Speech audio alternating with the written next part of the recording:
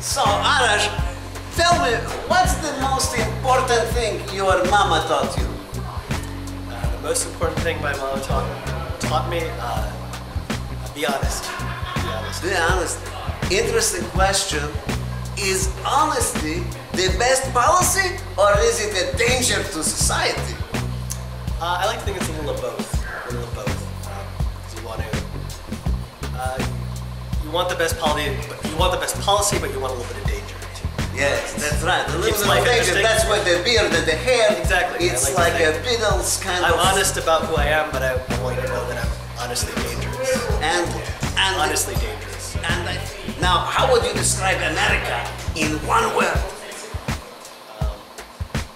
One word, uh, hot. Very hot. it's really hot here. In America. Yeah. It's hot in America. That's the danger. Now you are uh, you're sick.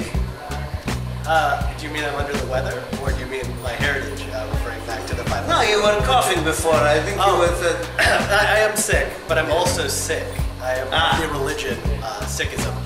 Uh, Ah. That it goes back about 500 years, started by Guru Nanak. and what do you take for it? I don't take anything for that religion. I No, for the get- call. For the With call. Very communication. It's a I problem. Uh, I, I take Yes. uh, That's okay. You're sick, you're sick. You're Jew, you're Jew, you uh, Exactly. whatever you are. uh, Whatever you are. If you're a Jew, you take something for everything. Yeah, a little bit So of everything. Yeah. I think we have all the questions. We have it.